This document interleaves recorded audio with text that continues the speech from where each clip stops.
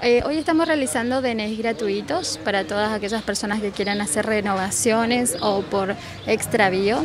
También a partir de cero años eh, con la partida de nacimiento del bebé y el DNI de los padres eh, los menores de 5 a 8 años, renovación, también con partida de nacimiento, y los de mayores de 14 años, también con partida de nacimiento. Y, ¿Estos trámites son gratuitos para la población? Eh, son totalmente gratuitas, se pueden acceder con turnos previos. Eh, en los próximos días vamos a tener otros operativos y vamos a estar avisando por distintos medios para poder acceder a los turnos. Dale a la gente eh, ¿dónde, ¿dónde, tiene que ingresar para ver el, tema de los turnos?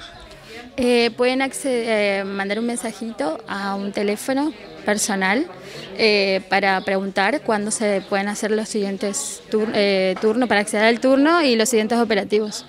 3625 24 10 14 es uno de los teléfonos que están libres para preguntar.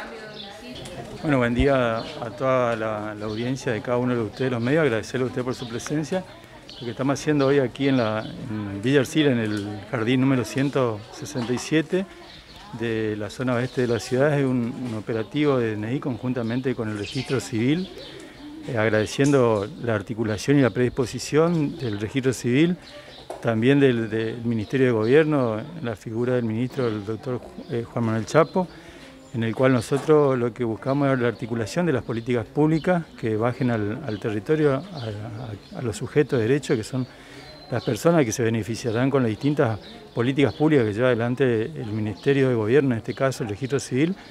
Así que para nosotros como, institución y como organización eh, nos parece importante en el marco de esta pandemia en el cual podamos acercar las políticas públicas a los barrios para que eso permita de que la gente no se traslade, no se movilice eh, a distancia de su domicilio y evitar también este contagio de, esta, de, esta, de este virus, de esta maldita pandemia que, bueno, que ha llevado muchas vidas de, de, gente de, todo el mundo, no solamente del Chaco, de Resistencia.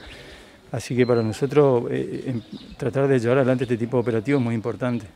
¿Cuántas personas atienden en estos operativos? Hoy estamos contando con una cantidad de, 60 turnos que nos, dio el, registro civil.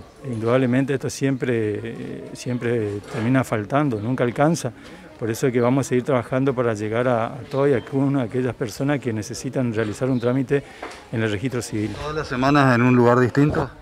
Esa es la idea, esa es la intención, articular con el Ministerio de Gobierno, eh, con el registro civil para que estas políticas públicas lleguen a todos y cada uno de los barrios de resistencia.